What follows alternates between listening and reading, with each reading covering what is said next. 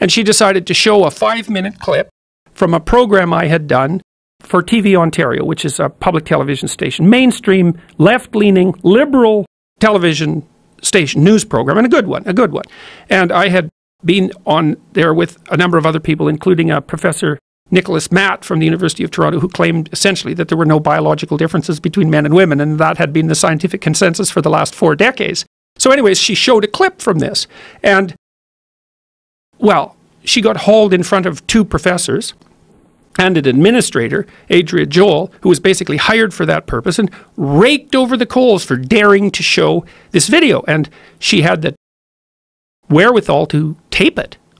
And then she made the tape public. And in that tape, they compared me. It was, it was really blackly comical, you know.